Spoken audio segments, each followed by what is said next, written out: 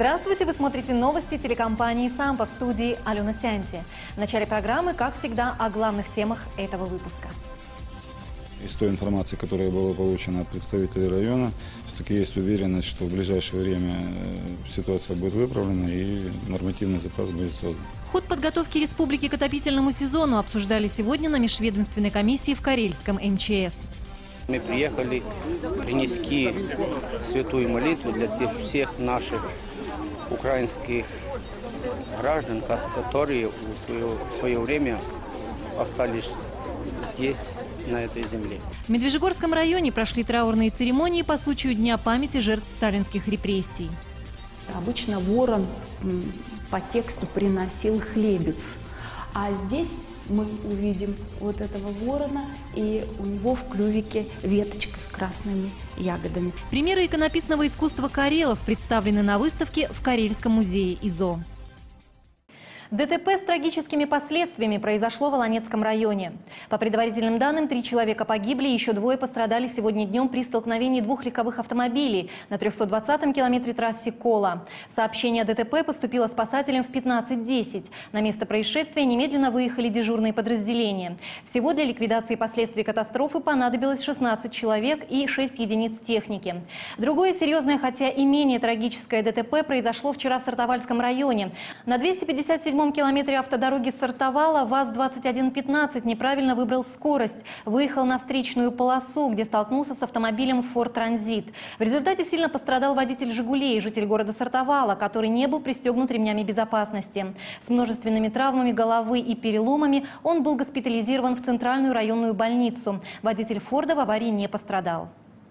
Глава Карелии Александр Худиланин посетил Медвежьегорский район. В урочище Сандармох он принял участие в траурной церемонии по случаю Дня памяти жертв сталинских репрессий.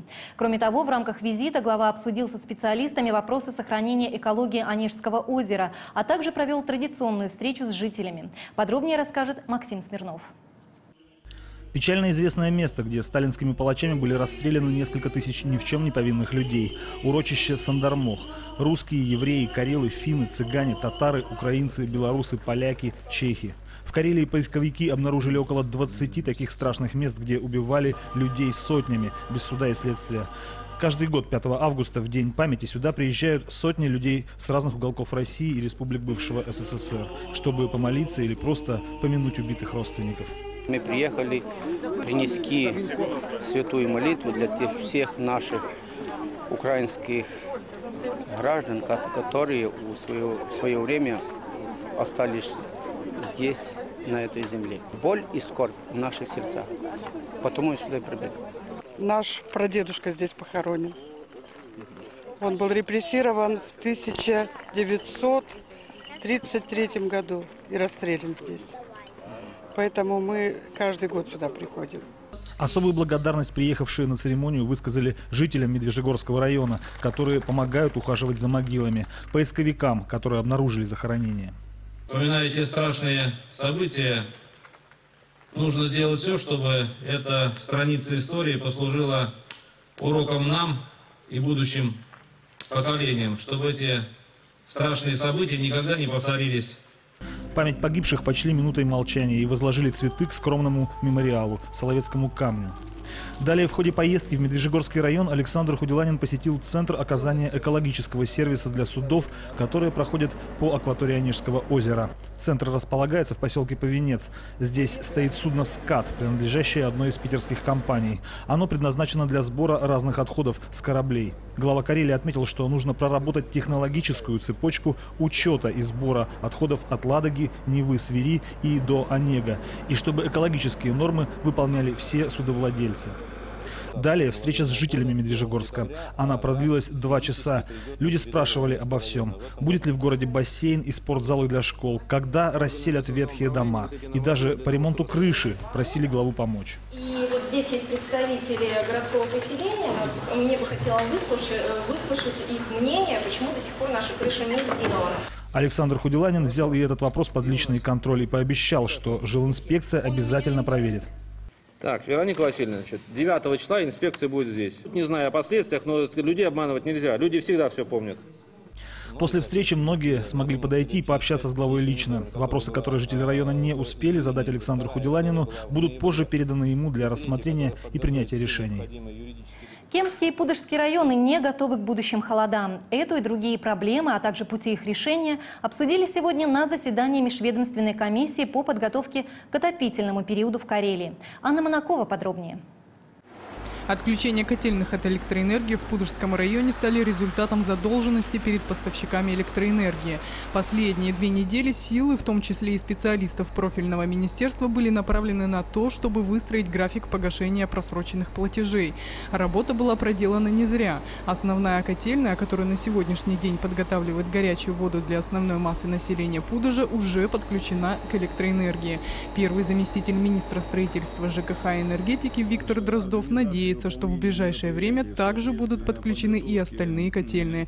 По его словам, это зависит от работы пудожских предприятий теплоснабжения. Не выполнен план работ по подготовке к зиме и у Кемского района. Вызывает беспокойство ситуация связанное, то, что говорилось э, по созданию нормативных запасов топлива, но тоже вот э, из той информации, которая была получена от представителей района, все-таки есть уверенность, что в ближайшее время э, ситуация будет выправлена и нормативный запас будет создан. Помимо этого, на заседании коснулись и жилищной проблемы. Конкретно зашел разговор о трех домах в Кеми, по которым делал обход глава Карелии Александр Худиланин во время своей поездки по району. Уже к пятнице будет составлен график ликвидации недоделок и начнутся поэтапные работы по их устранению.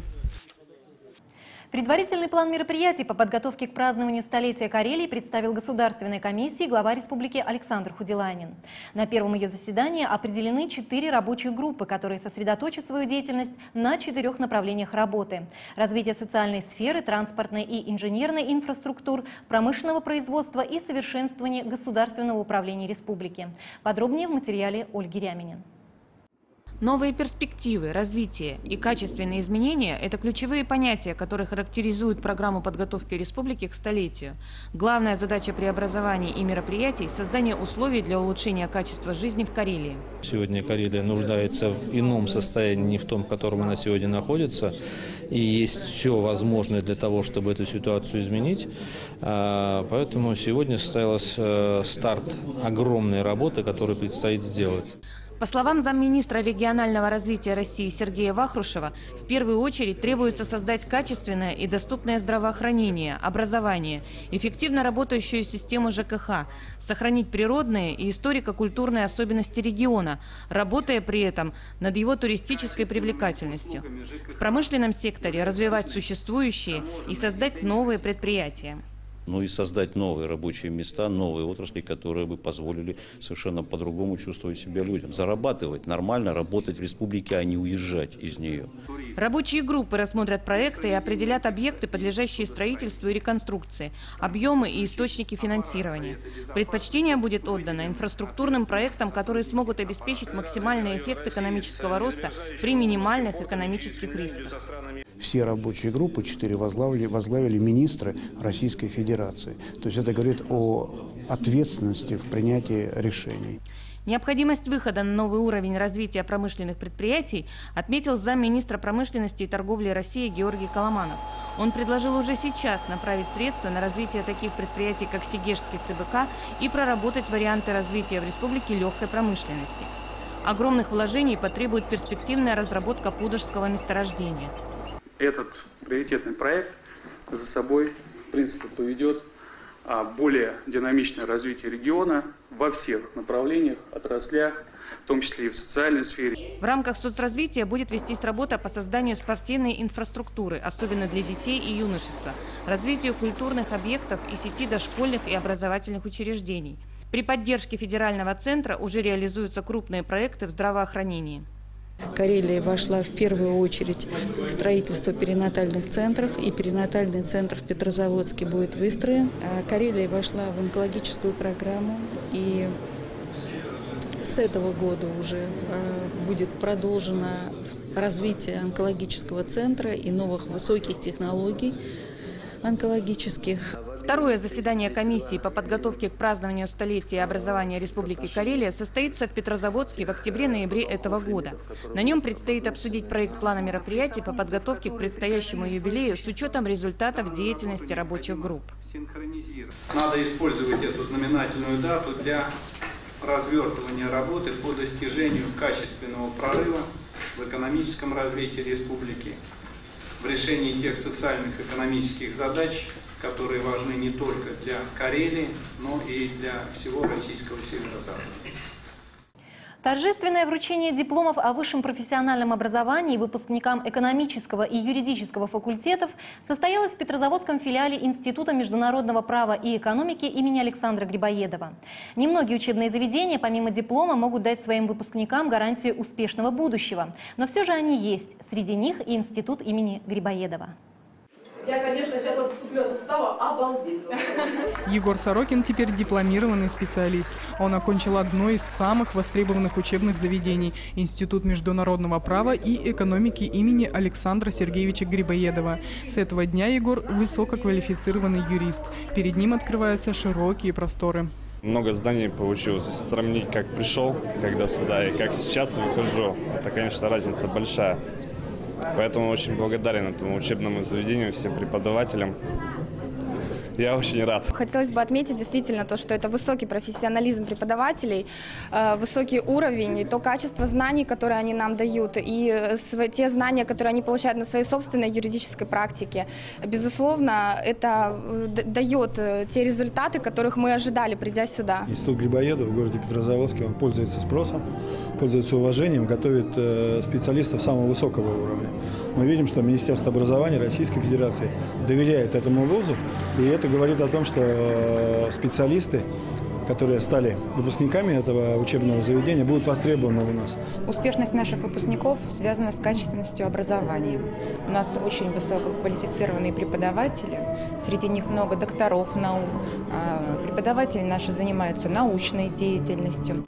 Им по имени Грибоедова в этом году отметил свое 20-летие. Уже многие годы учебное заведение реализует программы высшего и второго высшего профессионального образования на экономическом и юридическом факультетах. Выпускники филиала работают в судах, в прокуратуре, в адвокатских фирмах и банковской системе, в органах государственного и местного управления. Выпускники вуза востребованы на рынке труда. А теперь к другим новостям республики. В Карельских лесах продолжает повышаться вероятность возгораний. В Каливальском и Лоухском районах и на территории Костомукши по условиям погоды установился пятый класс пожарной опасности.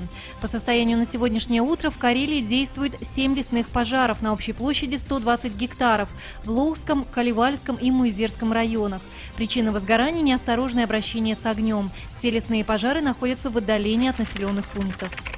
Директор петрозаводской фирмы воспользовалась персональными данными своей бывшей сотрудницы и без ее ведома оформила на нее два кредита на общую сумму свыше 170 тысяч рублей.